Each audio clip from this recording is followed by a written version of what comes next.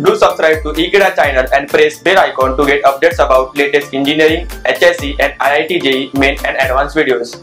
Hello students, we are studying chapter excretion and osmoregulation and in that we are studying topic renal tubule. Now renal tubule along with your PCT, DCT, Henle's loop, it consists all of them. So how all these segments are associated with renal tubule? Let's study and find out. If I talk about renal tubule, it can simply be said as a coiled, long, tubular part of a nephron and it basically consists of PCT, DCT and Henle's loop which is proximal convoluted tubule, distal convoluted tubule.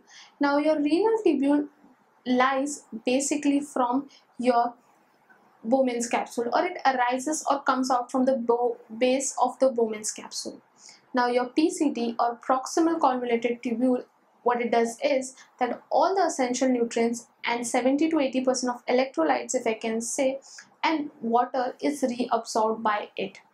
Your Henle's loop if I talk about plays a very crucial role in osmoregulation whereas your DCT that's your distal convoluted tubule help to monitor as well as stabilize the nephrons and basically just to adjust the fluid as well as blood pressure.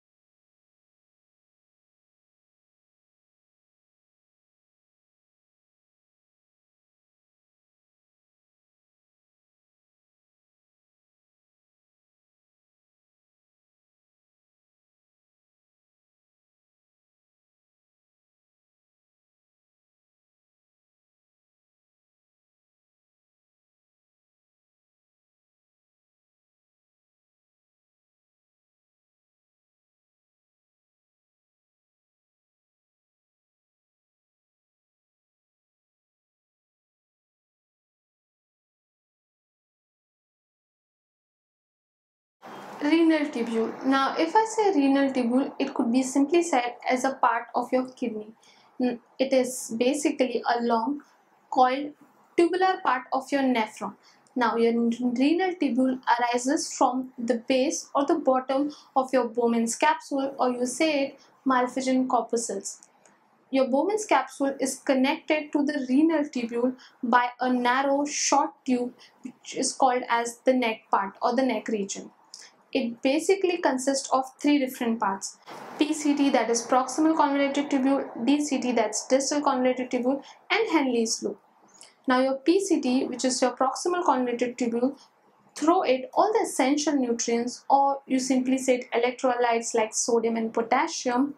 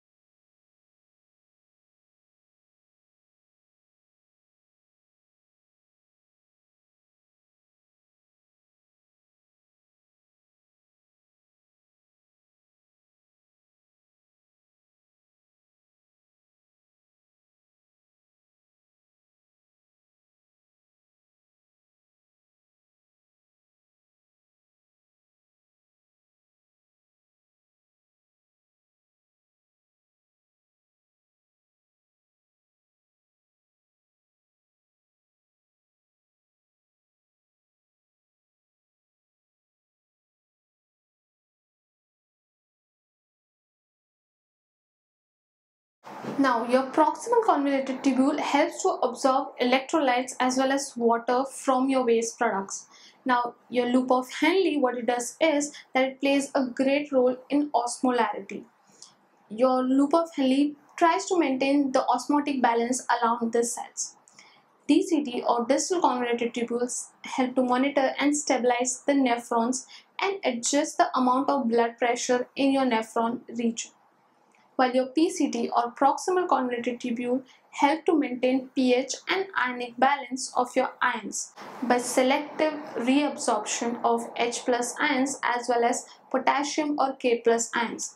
Henle's loop is U-shaped, thin-walled and it has two limbs ascending and descending. So students, in this part of the chapter, we did study about renal tubule. I hope you all are very clear with this concept. Thank you.